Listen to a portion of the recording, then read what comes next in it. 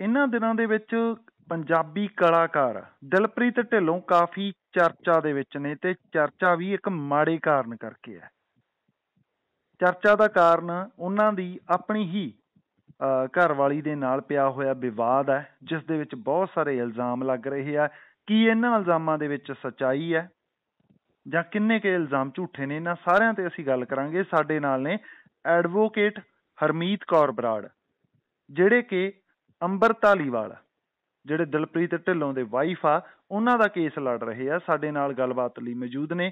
ਬਹੁਤ ਬਹੁਤ ਸਵਾਗਤ ਹੈ ਜੀ ਹਰਮੀਤ ਜੀ ਤੁਹਾਡਾ।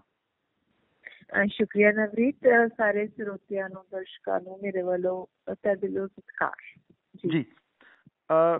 ਹਰਮੀਤ ਜੀ ਜਿਹੜੇ ਕੇਸ ਆਇਆਗਾ ਇਹਦੇ ਵਿੱਚ ਦਿਲਪ੍ਰੀਤ ਢਿੱਲੋਂ ਦੇ ਉੱਤੇ ਤੁਹਾਡੇ ਕਲਾਇੰਟ ਵੱਲੋਂ ਕਿਹੜੇ ਜਿਹੜੇ ਇਲਜ਼ਾਮ ਆ ਉਹ ਲਾਏ ਗਏ ਆ?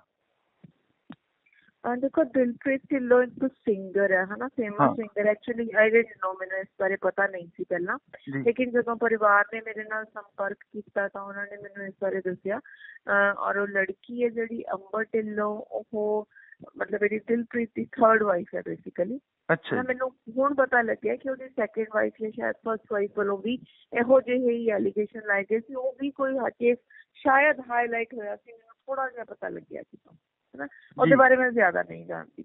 ਤਾਂ ਇਸ ਵੇਲੇ ਜਿਹੜੀ ਪ੍ਰੋਬਲਮ ਇਸ ਵੇਲੇ ਸਾਹਮਣੇ ਆ ਰਹੀ ਹੈ ਉਹ ਇਹ ਹੈ ਕਿ ਇੱਕ ਤਾਂ ਐਕਸਟਰਾ ਮੈਰਿਟਲ ਅਫੇਅਰਸ ਬਹੁਤ ਇਸ ਬੰਦੇ ਦੇ ਸਾਹਮਣੇ ਆਏ ਨੇ। ਉਹਦਾ ਰੀਜ਼ਨ ਉਹਦੇ ਉਹਦੇ ਚ ਕੁੜੀਆਂ ਆਪ ਸਾਹਮਣੇ ਆਈਆਂ ਆ।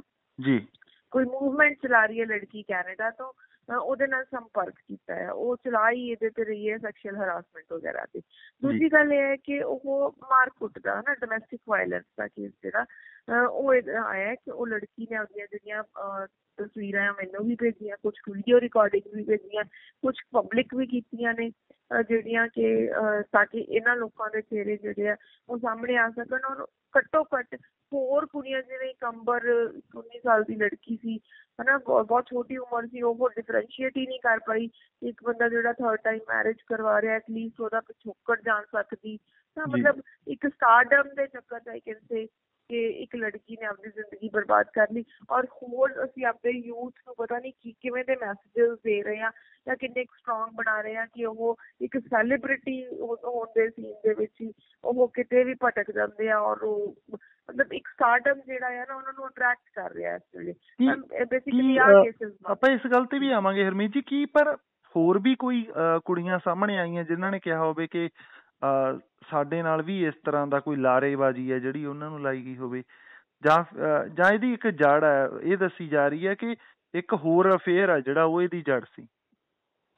ਨਹੀਂ ਇੱਕ ਹੋਰ ਅਫੇਅਰ ਨਹੀਂ ਕਈ ਹੋਰ ਅਫੇਅਰ ਜੀ। ਨਾ ਇੱਕ ਨਹੀਂ ਕਾਫੀ ਅਫੇਅਰ ਸੀ ਇੱਕ ਮਤਲਬ ਸਿਐਟਲ ਦੇ ਵਿੱਚ ਇਹ ਐਕਚੁਅਲੀ ਮਿਲੇ ਸੀ ਮੇਰੇ ਖਿਆਲ ਰਾਜਸਥਾਨ ਦੀ ਕਿਸੇ ਰਾਜਸਥਾਨ ਕਿਸੇ ਮੈਰਿਜ ਸੀ ਅੰਬਰ ਦੀ ਫੈਮਿਲੀ ਫਰੈਂਡ ਫੈਮਿਲੀ ਸੀ ਕੋਈ ਕਜ਼ਨਸ ਵਗੈਰਾ ਦੀ ਕਿਸੇ ਦੀ ਮੈਰਿਜ ਸੀ ਔਰ ਇਹ ਬਿੰਗੋ ਸਿੰਗਰ ਉੱਥੇ ਗਿਆ ਸੀ ਉੱਥੇ ਮਿਲੇ ਸੀ। ਉਸ ਤੋਂ ਬਾਅਦ ਇਹ ਸਿਐਟਲ ਸ਼ੋਅ ਕਰਨ ਗਿਆ ਕੋਈ ਉੱਥੇ ਇਹਨੇ ਅੰਬਰ ਨੂੰ ਬੁਲਾਇਆ ਮਿਲਣ ਲਈ ਔਰ ਇੱਕ ਲੜਕੀ ਹੋਰ ਬੁਲਾਈ ਕੈਲਗਰੀ ਤੋਂ। ਮਤਲਬ ਦੋਨੋਂ ਨੂੰ ਬੁਲਾ ਰਿਹਾ ਉਹ ਇੱਕੋ ਟੇਬਲ ਤੇ ਕਦੇ ਉਹ ਉਸ ਟੇਬਲ ਤੇ ਉਹਨੂੰ ਮਿਲਣ ਜਾ ਰਿਹਾ ਕਦੇ ਦੂਜੇ ਟੇਬਲ ਤੇ ਉਹਨੂੰ ਮਿਲਣ ਜਾ ਰਿਹਾ ਔਰ ਉਹ ਉਹ ਕੁੜੀ ਨਾਲ ਜਿਹੜੀ ਕੈਲਗਰੀ ਵਾਲੀ ਕੁੜੀ ਸੀ ਉਹਦੇ ਨਾਲ ਪ੍ਰੋਮਿਸ ਕਰ ਰਿਹਾ ਕਿ ਮੈਂ ਤੇਰੇ ਨਾਲ ਫੈਬਰਵਰੀ ਚ ਵਿਆਹ ਕਰਾਉਂਗਾ ਲੇਕਿਨ ਉਹ ਜਨਵਰੀ ਚ ਅੰਬਰ ਨਾਲ ਮੈਰਿਜ ਕਰਵਾ ਲੈਂਦਾ। ਇਹ ਚੀਜ਼ ਉਹ ਕੈਲਗਰੀ ਵਾਲੀ ਕੁੜੀ ਨੇ ਲੇਟਰ ਉਹ ਅੰਬਰ ਨਾਲ ਸੰਪਰਕ ਕਰਕੇ ਉਹਨੂੰ ਬਾਅਦ ਚ ਦੱਸੀ ਹੈ। ਮਤਲਬ ਠੀਕ ਹੈ ਉਦੋਂ ਉਹਨੂੰ ਪਤਾ ਨਹੀਂ ਸੀ ਰਾਦਰ ਕਿ ਇਹੋ ਜੇ ਇਹ ਸਰਕਮਸਟੈਂਸਸ ਹੈਗੀ ਆ ਜਾਂ ਇਹੋ ਜਿਹਾ ਕੁਝ ਚੱਲ ਰਿਹਾ ਲੇਕਿਨ ਬਾਅਦ ਚ ਉਹਨੂੰ ਜਲਦੀ ਹੀ ਸਾਹਮਣੇ ਆਉਣਾ ਸ਼ੁਰੂ ਹੋ ਗਿਆ ਸੀ। ਲੇਕਿਨ ਜਦੋਂ ਗੱਲ ਡੋਮੈਸਟਿਕ ਵਾਇਲੈਂਸ ਤੱਕ ਮਾਰਕੁੱਟ ਤੱਕ ਪਹੁੰਚੀ ਤਾਂ ਨੈਚੁਰਲੀ ਦੇਖੋ ਕੋਈ ਵੀ ਬੰਦਾ ਇਹ ਤਾਂ ਨਹੀਂ ਐਟਲੀਸਟ ਬਰਦਾਸ਼ਤ ਕਰ ਸਕਦਾ। ਜੀ। ਜੀ ਬਿਲਕੁਲ ਬਿਲਕੁਲ ਕੋਈ ਬਰਦਾਸ਼ਤ ਕਰਨਾ ਵੀ ਨਹੀਂ ਚਾਹੀਦਾ ਜੇ ਜਿੱਥੋਂ ਤੱਕ ਡੋਮੈਸਟਿਕ ਵਾਇਲੈਂਸ ਦੀ ਗੱਲ ਹੈ। ਪਰ ਜਿਹੜੀ ਇਹ ਹੋਰ ਕੁੜੀ ਜਿਹੜੀ ਤੁਸੀਂ ਗੱਲ ਕਰ ਰਹੇ ਹੋ ਕੈਲਗਰੀ ਦੀ ਤੂੰ ਕੁੜੀ ਹੈ ਜਾਂ ਇਹ ਜਿਹੜੇ ਹੁਣ ਇਹਨਾਂ ਦੀ ਵਾਈਫ ਵੱਲੋਂ ਇਲਜ਼ਾਮ ਲਾਏ ਗਏ ਆ ਤੁਹਾਡਾ ਜਿਹੜਾ ਮੁੱਖ ਆਧਾਰ ਹੈ ਇਸ ਸਮੇਂ, ਜਿਹੜਾ ਬੇਸ ਹੈ, ਉਹ ਡਿਵੋਰਸ ਦੇ ਵੱਲ ਹੈ ਜਾਂ ਫਿਰ ਤੁਸੀਂ ਇਸ ਕੇਸ ਨੂੰ ਅੱਗੇ ਵੀ ਲਿਜਾਣਾ ਚਾਹੁੰਦੇ ਹੋ? ਦੇਖੋ ਜਿਹੜੀ ਅੰਬਰ ਵੱਲੋਂ ਇਸ ਵੇਲੇ ਡਿਵੋਰਸ ਆਈ ਹੈ, ਮਤਲਬ ਉਹ ਡਿਵੋਰਸ ਹੀ ਚਾਹੁੰਦੀ ਹੈ। ਲੇਕਿਨ ਇਹ ਹੈ ਕਿ ਇਹੋ ਜਿਹੇ ਬੰਦੇ ਨੂੰ ਸਬਕ ਸਿਖਾਉਣਾ ਵੀ ਜ਼ਰੂਰੀ ਹੁੰਦਾ ਹੈ ਨਾ। ਉਹ ਉਹ ਨੋ ਡਾਊਟ ਜਦੋਂ ਬੰਦਾ ਬਹੁਤ ਜ਼ਿਆਦਾ ਅਪਸੈਟ ਹੁੰਦਾ ਡਿਪਰੈਸਡ ਹੁੰਦਾ ਤਾਂ ਉਹ ਖੜਾ ਹੀ ਛਡਾਉਣਾ ਚਾਹੁੰਦਾ ਹੁੰਦਾ ਲੇਕਿਨ ਇਸ ਵੇਲੇ ਜਿਹੜੀ ਉਹਦੀ ਇੱਕ ਮੈਨੂੰ ਇੱਕ ਚੀਜ਼ ਜਿਹੜੀ ਪੋਜ਼ਿਟਿਵ ਲੱਗ ਰਹੀ ਹੈ ਉਹਨੂੰ ਇਹ ਲੱਗ ਰਿਹਾ ਕਿ ਐਟਲੀਸਟ ਕੋਈ ਹੋਰ ਕੁੜੀ ਦੀ ਜ਼ਿੰਦਗੀ ਨਾ ਬਰਬਾਦ ਹੋਵੇ ਤਾਂ ਉਹ ਸਾਹਮਣੇ ਆ ਰਹੀ ਹੈ। ਮਤਲਬ ਉਹਦੀਆਂ ਤਸਵੀਰਾਂ ਭੇਜ ਰਹੀ ਹੈ, ਚਾਹੇ ਮੇਰੇ ਜ਼ਰੀਏ ਆ ਰਹੀ ਹੈ। ਹਨਾ ਜਿਵੇਂ ਵੀ ਆ ਰਹੀ ਹੈ, ਲੇਕਿਨ ਉਹ ਸਾਹਮਣੇ ਆਉਣਾ ਚਾਹਤੀ ਹੈ ਤਾਂ ਕਿ ਇਹਦਾ ਚਿਹਰਾ ਹੈ ਜਿਹੜਾ ਉਹ ਸਭ ਦੇ ਸਾਹਮਣੇ ਲਿਆਂਦਾ ਜਾ ਸਕੇ।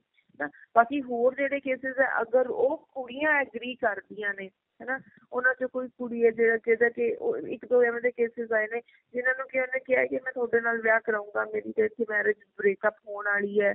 ਹੈਨਾ ਇਹ ਜਿਹਾ ਕੁਝ ਕਹਿ ਕੇ ਵੀ ਮੈਂ ਤੇਰੇ ਨਾਲ ਵਿਆਹ ਕਰਾਉਂਗਾ ਤਾਂ ਇਨ ਦੈਟ ਕੇਸ ਉਹ ਉਹ ਕੁੜੀਆਂ ਨੂੰ ਲਾਰੇਬਾਜ਼ੀ ਚ ਰੱਖਿਆ ਆ ਤੇ ਫਿਜ਼ੀਕਲ ਹਰਾਸਮੈਂਟ ਵੀ ਹੋਈ ਹੈ ਤਾਂ ਉਹ ਜਿਹੜੀਆਂ ਚੀਜ਼ਾਂ ਨੇ ਉਹ ਇਹ ਹੈਗੀਆਂ ਦੋ ਤਿੰਨ ਕੇਸਿਸ ਉਹ ਜੇ ਸਾਹਮਣੇ ਆਏ ਆ।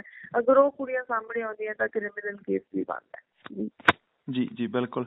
ਤੇ ਪਰ ਇੱਕ ਸਿੰਗਰ ਹੈ ਜਿਹੜਾ ਇੱਕ ਸਟਾਰਡਮ ਮੁੱਦਾ ਠੀਕ ਹੈ ਇੱਕ ਭਾਵੇਂ ਅੱਜ ਅੰਬਰ ਨੇ ਕੇਸ ਕੀਤਾ।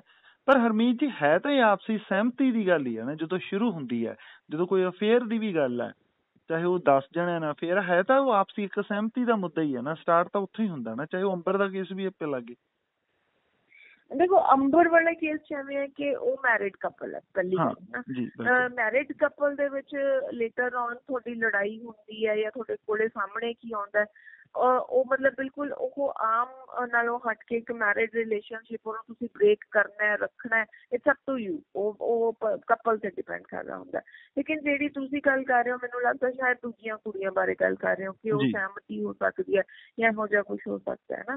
ਤਾਂ ਦੇਖੋ ਸਭ ਤੋਂ ਪਹਿਲਾਂ ਜਦੋਂ ਕੋਈ ਵੀ ਇੱਕ ਆਰਟਿਸਟ ਹੁੰਦਾ ਹੈ ਨਾ ਉਹ ਇੱਕ ਰਿਸਪੌਂਸਿਬਲ ਇਨਸਾਨ ਹੁੰਦਾ ਹੈ। ਮਤਲਬ ਅਸੀਂ ਇਹ ਗੱਲ ਅਕਸਰ ਹੀ ਸੁਣਦੇ ਆ ਵੀ ਤੁਸੀਂ ਸਾਡਾ ਯੂਥ ਕਿਵੇਂ ਦਾ ਹੋਊਗਾ ਤੇ ਉਹ ਗਾਣੇ ਕਿਵੇਂ ਦੇ ਸੁਣਦਾ ਇਸ ਚੀਜ਼ ਤੋਂ ਤੈਅ ਕੀਤਾ ਜਾਂਦਾ ਹੈ ਕਿ ਸਾਡਾ ਸਾਡੀ ਪੀੜ੍ਹੀ ਜਿਹੜੀ ਆ ਉਹ ਕਿਹੋ ਜਿਹਾ ਸਿਰ ਜੂਗੀ ਹੈ ਨਾ ਭਵਿੱਖ ਸਿਰ ਜੂਗੀ ਤਾਂ ਅਗਰ ਸਾਡੇ ਕੋਲ ਉਹ ਕਿਹੋ ਜਿਹੇ ਗਾਣੇ ਗਾਉਂਦਾ ਐਕਚੁਅਲੀ ਮੈਂ ਤਾਂ ਸੁਣਿਆ ਹੀ ਨਹੀਂ ਸੀ ਮੈਂ ਤਾਂ ਲੇਟਰ ਔਨ ਜਦੋਂ ਮੇਰੇ ਕੋਲੇ ਇਹ ਕੇਸ ਆਇਆ ਉਸ ਤੋਂ ਬਾਅਦ ਮੈਂ ਉਹਦੇ ਉਹਨੂੰ ਥੋੜਾ ਜਿਹਾ ਸੁਣਿਆ ਤੇ ਮੈਨੂੰ ਉਹਦੇ ਗਾਣਿਆਂ 'ਚ ਵੀ ਕੋਈ ਬੜਾ ਤੱਤ ਨਹੀਂ ਲੱਗਿਆ ਕੋਈ ਐਵੇਂ ਹਥਿਆਰਾਂ ਹਥੂਰਾਂ ਵਾਲੇ ਹੀ ਗਾਣੇ ਹੈ ਨਾ ਮਤਲਬ ਉਹ ਜਿਹੜੇ ਯੂਥ ਨੂੰ ਭਟਕਾਉਣ ਵਾਲੇ ਹੀ ਲੱਗਦੇ ਆ। ਔਰ ਉਸ ਸੀਨ ਦੇ ਵਿੱਚ ਮੈਨੂੰ ਲੱਗਦਾ ਕਿ ਉਹ ਕੁੜੀਆਂ ਜਿਹੜੀਆਂ ਨੇ ਤਕਰੀਬਨ ਬਹੁਤੀਆਂ ਯੂਥ ਦੇ ਨਾਲ ਹੀ ਉਸ ਏਜ ਗਰੁੱਪ ਚੋਂ ਲੰਘ ਰਹੀਆਂ ਨੇ ਤਾਂ ਉਹ ਇਸ ਚੀਜ਼ ਨੂੰ ਡਿਫਰੈਂਸ਼ੀਏਟ ਨਹੀਂ ਕਰ ਪਾ ਰਹੀਆਂ। ਉਹਦੇ ਚ ਬੇਸ਼ੱਕ ਸਹਿਮਤੀ ਆਈ ਐਗਰੀ ਕਿ ਕਿਸ ਹੱਦ ਤੱਕ ਉਹ ਸਹਿਮਤੀ ਨਾਲ ਹੀ ਚੀਜ਼ ਸ਼ੁਰੂ ਹੁੰਦੀ ਹੈ। ਲੇਕਿਨ ਬੀਇੰਗ ਅ ਰਿਸਪੌਂਸਿਬਲ ਪਰਸਨ ਜਦੋਂ ਤੁਸੀਂ ਇੱਕ ਆਰਟਿਸਟ ਹੁੰਦੇ ਹੋ ਤੁਸੀਂ ਇੱਕ ਪੂਰੀ ਆਰਟਿਸਟ ਕਲਾਸ ਨੂੰ ਜਿਹੜਾ ਰਿਪਰੈਜ਼ੈਂਟ ਕਰ ਰਹੇ ਹੋ ਨਾ ਕਿ ਇੱਕ ਪਾਰਟਿਕੂਲਰ ਬੰਦੇ ਨੂੰ। ਤੁਹਾਡੀ ਉੱਥੇ ਜ਼ਿੰਮੇਵਾਰੀ ਹੋ ਜਾਂਦੀ ਹੈ ਕਿ ਤੁਸੀਂ ਕੀ ਸਮਾਜ ਨੂੰ ਦੇ ਰਹੇ ਹੋ ਤੁਹਾਡੀ ਦੇਣ ਕੀ ਹੈ। ਔਰ ਉਹ ਸਮਾਜ ਸਿਰਫ ਪੈਸਾ ਇਕੱਠਾ ਕਰਨਾ ਤੁਹਾਡੀ ਖੁਆਇਸ਼ ਹੈ ਜਾਂ ਤੁਸੀਂ ਉਸ ਚੀਜ਼ ਨੂੰ ਸਮਾਜ ਦੇ ਲਈ ਸਮਰਪਿਤ ਕੁਝ ਕਰਨਾ ਚਾਹ ਰਹੇ ਹੋ। ਔਰ ਉਸ ਬੰਦੇ ਉਸ ਚੀਜ਼ ਦੇ ਵਿੱਚ ਇਹ ਬੰਦਾ ਕੰਪਲੀਟਲੀ ਫੇਲ ਹੋਇਆ। ਹੈ ਨਾ ਦੂਜੀ ਗੱਲ ਇਹ ਹੈ ਕਿ ਸਹਿਮਤੀ ਹੈ ਠੀਕ ਹੈ agree but up to some extent ਸਹਿਮਤੀ ਇੱਕ ਨਾਲ ਹੋ ਸਕਦੀ ਹੈ ਦੋ ਨਾਲ ਹੋ ਸਕਦੀ ਹੈ 15 20 ਕੁੜੀਆਂ ਨਾਲ ਤਾਂ ਨਹੀਂ ਨਾ ਹੋ ਸਕਦੀ ਹੈਗੀ ਅਗਰ ਉਹ 15 20 ਕੁੜੀਆਂ ਹੈ ਤਾਂ ਇਹਦਾ ਮਤਲਬ ਇਹ ਉਹਨਾਂ ਉਹਨਾਂ ਨੂੰ ਕਿਸੇ ਤਰੀਕੇ ਇਹੋ ਜਿਹਾ ਹਿਪਨੋਟਾਈਜ਼ ਕਰਦਾ ਭਰਮਾਉਂਦਾ ਆ ਕਿ ਉਹ ਕੁੜੀਆਂ ਆਪਦੀ ਏਜ ਕਰਕੇ ਲਾ ਲਓ ਜਾਂ ਸਟਾਰਟਅਪ ਕਰਕੇ ਉਸ ਚੀਜ਼ ਤੇ ਉਹ ਮੈਂ ਕਹਿ ਸਕਦੀ ਹਾਂ ਕਿ ਭਾਵੁਕ ਹੋ ਗਈਆਂ ਹਨਾ ਇਹ ਦਾ ਕੁਝ ਮਤਲਬ ਕਹਿ ਕਿਹਾ ਜਾ ਸਕਦਾ ਠੀਕ ਹੈ ਉਹ ਲੇਟਰ ਔਨ ਉਸ ਚੀਜ਼ ਨੂੰ ਰੇਪ ਦੇ ਵਿੱਚ ਨਹੀਂ ਕਹਿ ਸਕਦੇ ਹੁੰਦੇ ਲੇਕਿਨ ਅਗਰ ਕਿਸੇ ਨਾਲ ਧੱਕੇ ਨਾਲ ਜਾਂ ਧੋਖੇ ਨਾਲ ਕੀਤਾ that can be counted as a rape ਜੀ ਬਹੁਤ ਬਹੁਤ ਸ਼ੁਕਰੀਆ ਹਰਮੀਤ ਜੀ ਤੁਹਾਡਾ ਤੁਸੀਂ ਸਮਾਂ ਦਿੱਤਾ ਬਹੁਤ ਬਹੁਤ ਧੰਨਵਾਦ ਜੀ